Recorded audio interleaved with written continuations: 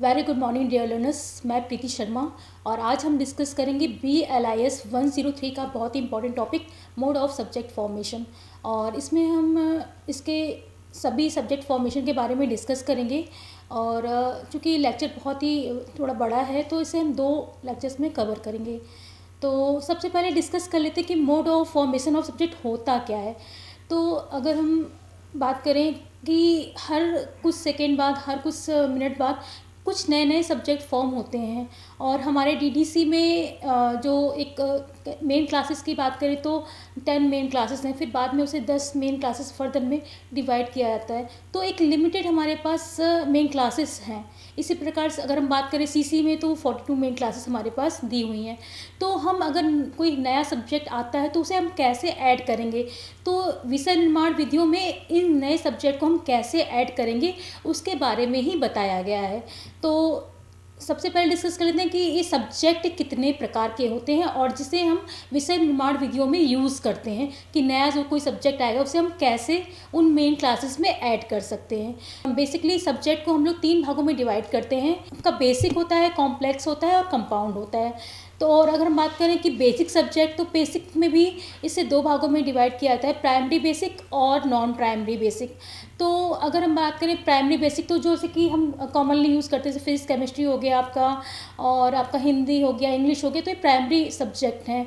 और इसमें भी प्राइमरी बेसिक सब्जेक्ट में भी न्यूली इमर्जिंग है, जैसे कि जर्नलिज्म है और ट्रेडिशनल में, जैसे मैंने अभी आपको बताया physics chemistry bio Hindi English तो ये हमारे ट्रेडिशनल सब्जेक्ट हो गए।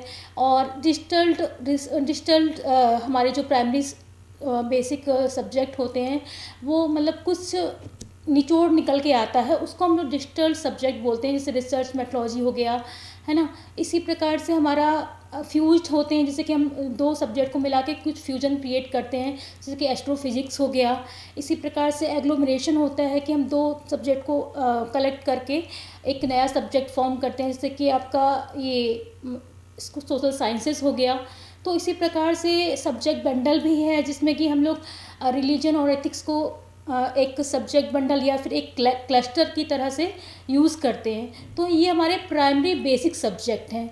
इसी प्रकार से नॉन प्राइमरी बेसिक सब्जेक्ट्स होते हैं, जैसे कि कैनोकेमिकल क्लासेस होती हैं, जैसे कि हम हमारी मैथ्स है मेन क्लास तो मैथ्स में भी उसके सब कैटेगरीज हैं, सब ब्रांचेज हैं, जैसे एल्जेब्रा हो गई टिग्नोमेट्री हो गई ज्योमेट्री हो गई कैनोनिकल क्लासेस कहलाती हैं, ठीक है?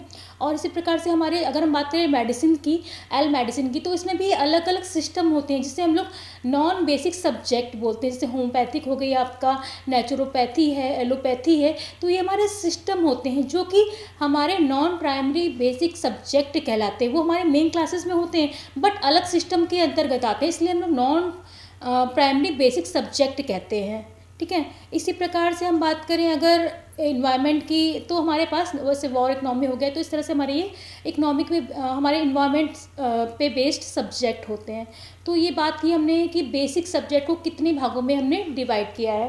अब हम बात करते हैं कि हमारे जो कंपाउंड सब्जेक्ट हैं वो कौन कौन से हैं? कंपाउंड सब्जेक्ट जैसे कि आपको यहाँ पे स्लाइड में दिख रहा है these subjects are compound of a basic class and one or more isolate A compound subject comprises a basic subject and facet arranged in some systematic order मतलब अगर हमारे पास मेन क्लास है तो मेन क्लास के face it के बीच में जो relation बना के जो हम एक नया सब्जेक्ट फॉर्म करते हैं, वो हमारा कंपाउंड सब्जेक्ट कहलाता है। जैसे कि यहाँ पे एग्जांपल्स दिए हुए हैं I medicine human disease I disease या फिर ट्रीटमेंट ऑफ़ आई डिजीजेज तो ये आप इसमें देख रहे होंगे कि ये जो इसमें मेन क्लासेस सभी की सेम है और जो सब्जेक्ट फॉर्म हो रहा है, वो सब्जेक्ट उन मेन क्लासेस के फेसेट के बीच में रिलेशन बनाने के बाद ही हम उस सब्जेक्ट को फॉर्म कर रहे हैं। जैसे इसमें आई है तो वो एक पर्सनैलिटी है मेडिसिन की एल मेडिसिन मेन क्लास की। तो ये हमारे कंपाउंड सब्जेक्ट कहलाते हैं, जो कि एक मेन क्लास के फेसेट के बीच में रिलेशन करके हम नए सब्जेक्ट को फॉर्म करते हैं। तो वो हमारा कंपाउंड सब्जेक्ट कहलाते हैं, ठीक है? अब हम बात करते हैं कि कॉम्प्लेक्स सब्जेक्ट क्या होते हैं। तो कॉम्प्लेक्स सब्जेक्ट में क्या होता है? बस थोड़ा सा अंतर ये है कि जैसे कि वहाँ पर एक मेन क्लास थी और उसके फ़ेज़ के बीच में रिलेशन हो रहा था। यहाँ पर क्या होता है कि मेन क्लास जो होती है, वो डिफरेंट होती है। टू और मोर टू और मोर फ़ेज़ मतलब टू और मोर मेन क्लासेस होती हैं और जिनके फेसेट के बीच में हम लोग रिलेशन करते हैं या मेन क्लासेस के बीच में रिलेशन करके जो नया सब्जेक्ट फॉर्म होता है, वो हमारा कॉम्प्लेक्स सब्जेक्ट के अंतर्गत आता है। जैसे कि अगर हम बात करें एग्ज़ाम्पल की तो जियो पॉलिटिक्स हो गया एस्ट्रोफिजिक्स हो गया एस्ट्रोनॉमी हो गया तो ये सारे हमारे क्या है कॉम्प्लेक्स सब्जेक्ट हैं। क्योंकि इसमें आप देख पा रहे होंगे कि आपका जो मेन क्लास है जियो अलग है, आपके और पॉलिटिक्स अलग है, ठीक है? तो ये दो आपके मेन सब्जेक्ट हैं। इसी प्रकार से एस्ट्रोनॉमी की बात करें तो आपका एस्ट्रो अलग है एस्ट्रोनॉमी अलग है और एस्ट्रो फिजिक्स अलग है। तो दोनों को मिला के हमने एस्ट्रोफिजिक्स बनाया, ठीक है? तो इसी प्रकार से आपके कॉम्प्लेक्स सब्जेक्ट की मतलब एक उत्पत्ति होती है, हम कह सकते हैं। यहाँ पे हमने फ़ेज़ लिस्ट के बारे में बताया हुआ है कि इसको फेलिएशन को भी, इसको फेलिएशन के टर्म में भी डिफाइन करते हैं कि इंट्रैक्शन ऑफ़ टू डिस्टिंक्ट या different subject is called फेलिएशन these phases are locked in some inter relation the devices to construct a class number of class number for a complex class is known as a phase lesson device तो इस complex subject को हम कह सकते हैं कि complex subject की जो उत्पत्ति होती है, वो फ़ेज़ लेशन के द्वारा ही होती है। तो यहाँ पे हमने इसलिए फेरिएशन की बात की यहाँ पे। अब हम बात करते हैं कि ये जो हम मोड ऑफ़ फॉर्मेशन को पढ़ रहे थे तो वो क्या क्या होते हैं? तो यहाँ पर हम,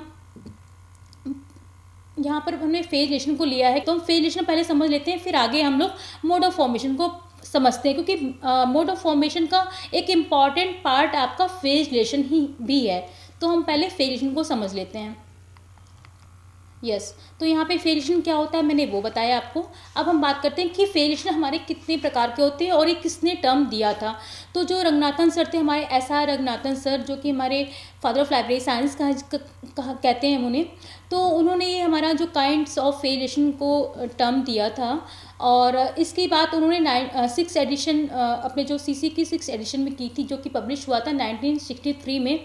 और जो 1963 में एडिशन पब्लिश हुआ था, उसमें जो इन्होंने बात की थी फाइव काइंड्स ऑफ़ रिलेशन इसमें आपके जो फेरिएशन होते हैं, वो तीन टाइप्स के होते हैं और उनमें जो लेवल होते हैं, वो आपके या फिर हम कहते हैं कि काइंड्स ऑफ़ रिलेशन वो पाँच प्रकार की बात की गई है। और इसी के बाद सेवन्थ एडिशन में ये जो रिलेशन थे, इसके फेरिएशन फेरिएशन के जो टाइप्स थे, उनको सिक्स टाइप में डिवाइड किया गया जैसे कि हम बात करें हमारे पास फेजिशन तीन टाइप्स के होते हैं इंट्रा सब्जेक्ट इंट्रा फेसिट और इंट्रा एरे और उनके बीच में जो कितने प्रकारों का रिलेशन होता है वो पहले सिक्स एडिशन में पाँच प्रकार का था और सेवन्थ एडिशन में उसे आगे बढ़ाकर टूल को ऐड करके उसे सिक्स रिलेशन में कन्वर्ट कर दिया गया। तो हम आगे इसके बारे में पढ़ते हैं कि ये कितने आ, कौन कौन से फेलिएशन है। तो यहाँ पे मैंने बात की है काइंड्स ऑफ़ फेलिएशन जैसे कि मैंने भी आपको बताया था कि हमारे सेवन्थ एडिशन में रंगनाथन सर ने सिक्स फिफ्थ तक था। यानी कि general bias comparison difference influence हमारे पास सिक्स uh, एडिशन में था सेवन्थ एडिशन में टूल को भी ऐड किया गया था। तो ये काइंड्स ऑफ़ फ़ेज़ रिलेशन है कि जो किस प्रकार के रिलेशन uh, मतलब होते हैं, हमारे जो फ़ेज़ रिलेशन तीन टाइप्स के होते हैं, उनमें कितने प्रकार के रिलेशन हैं, उसके बारे में बताया गया है कि जर्नल होता है जिसमें कि हम दो मेन क्लासेस को यूज़ करते हैं, जिसकी physics and chemistry relation between physics and chemistry या फिर relation between history and geography तो हमारा जर्नल रिलेशन कहलाता है। इसी प्रकार से अगर बायस करें तो वो एक तरह से किसी के फेवर में रहता है या किसी को एक मतलब किसी को एक मतलब उसका फेवर करता है तो वो हमारा बायस कहलाता है, उसका पक्ष लेता है, वो हमारा बायस कहलाता है। जैसे कि अगर यहाँ पे बात की जा रही यहाँ पर से लिखा हुआ है मैथमेटिक्स फॉर बायोलॉजिस्ट ठीक है? तो मैथमेटिक्स बायोलॉजिस्ट बायस कर रही है बायोलॉजिस्ट को। तो यहाँ पर एक पक्ष ले रही है तो इसमें या फेवर कर रही है। तो बायस इस तरह की अगर प्रॉब्लम्स आती है तो वो बायस केस के अंतर्गत आती हैं।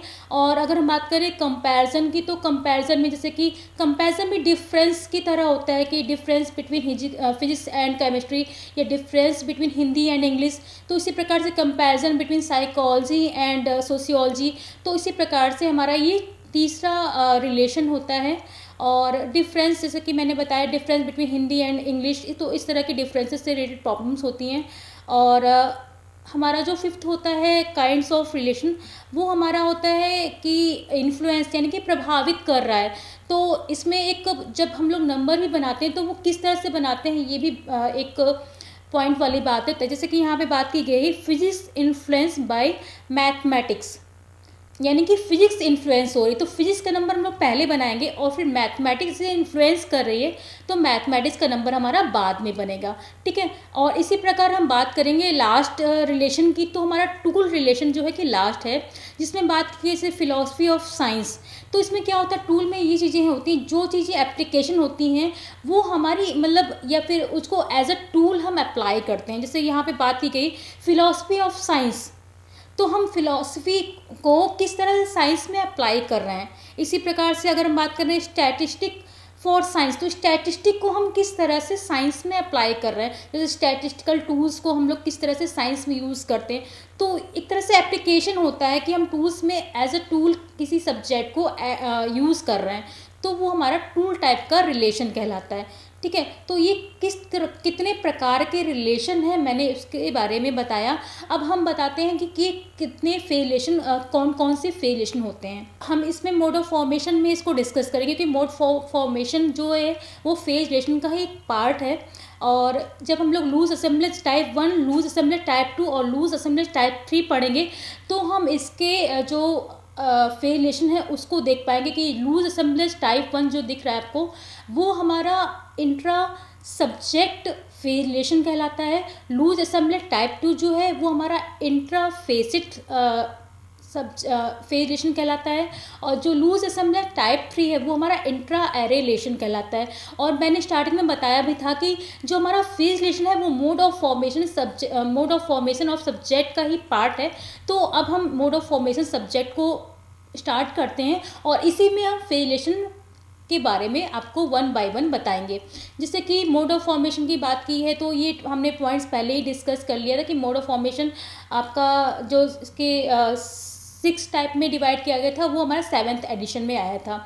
और फाइव टाइप, जो हमारा फिफ्थ टाइप में रिलेशन को डिवाइड किया गया था, वो हमारा सिक्स एडिशन में आया था। तो वो आगे हमने पहले ही बात कर चुके हैं। और मोड ऑफ़ फॉर्मेशन को रंगनाथन सर ने कितने भागों में डिवाइड किया गया है, इसके बारे में बताया गया है।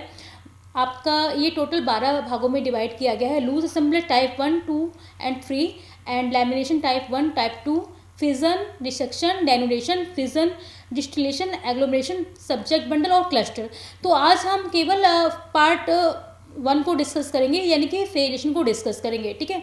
तो सबसे पहले हम डिस्कस करते हैं लूज असेंबली टाइप वन के बारे में. तो यहाँ पर बात की जा रही है लूज असेंबलीज की तो relation between two isolate from the same facet यानी कि सेम फेसेट के आइसोलेट के बीच में रिलेशन और लूज असेंबलेज टाइप वन की बात कर रहे हैं तो हम यहाँ पे इंट्रा सब्जेक्ट इंट्रा सब्जेक्ट फेरिएशन की बात कर रहे हैं, यानी कि दो मेन क्लास अलग अलग होंगी और उनके बीच में जो रिलेशन होगा, वो हमारा इंट्रा सब्जेक्ट रिलेशन कहलाएगा। जैसे कि अगर हम इसमें हमने इसके बारे में पहले ही बता दिया कि हमारे जो कितने टाइप्स के रिलेशन होते हैं वो सिक्स टाइप्स के होते हैं और वो हम पहले ही डिस्कस कर चुके हैं तो वो डिस्कस नहीं करेंगे।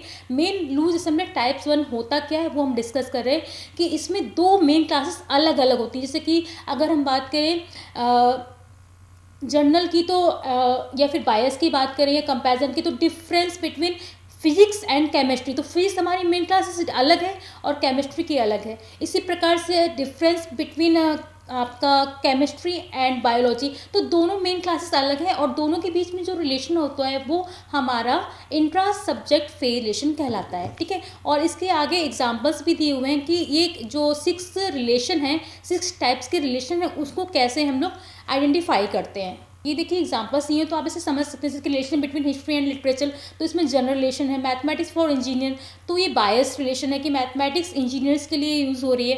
Application for mathematics techniques in इस लिटरेचर एक्टिविटीज़ तो ये टूल का यूज़ हो रहा है। इस तरह से कंपैरिजन है डिफरेंस है, और फिजिक्स इन्फ्लुएंस बाय मैथमेटिक्स तो एग्जांपल है लूज असेंबलेस के, जो ऑलरेडी हम डिस्कस कर चुके हैं। अब हम बात करते हैं लूज असेंबलेस टाइप टू के बारे में। इसमें कुछ खास नहीं होता, बस ये अंतर होता है कि इसमें जैसे कि मैंने बताया था आपको लूज असेंबलेस वन में आपका दो मेन क्लासेस अलग अलग होती हैं और इसमें क्या होता है कि आपका मेन क्लास एक होती है और उस मेन क्लास के फेसिट के बीच में रिलेशन होता है। किसी भी दो फेसिट के बीच में रिलेशन होता है। तो वो हमारा इंट्रा सब इंट्रा फेसिट रिलेशन कहलाता है। इंट्रा फे फेसिट फ़ेज़ रिलेशन कहलाता है और इसे ही हम लोग लूज असेंबलेस टाइप टू कहते हैं।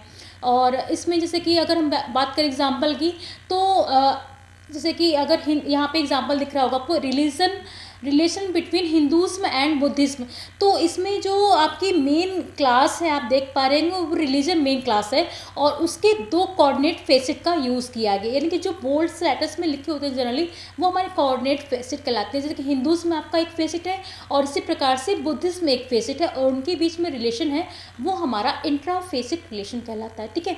इसी प्रकार से अगर हम बात करें, आप हिंदूज़ बुद्धिज़्म वही सेम हो गया। इसी प्रकार से अमेरिकन हिस्ट्री आपका है, यहाँ पे इंडियन हिस्ट्री और अमेरिकन हिस्ट्री तो ये हमारा हिस्ट्री की ही दो फेस हिस्ट्री मेन क्लासेस के दो फेसेट का यूज़ करके हमारा इंट्रास फेसेट रिलेशन को बताया गया है. तो इसी प्रकार से एक मेन क्लास के दो फेसेट के बीच में रिलेशन होता है तो वो हमारा इंट्रा फेसेट रिलेशन कहलाता है और इसे हम लूज असेंबलेज टाइप टू के अंतर्गत यूज़ करते हैं, ठीक है?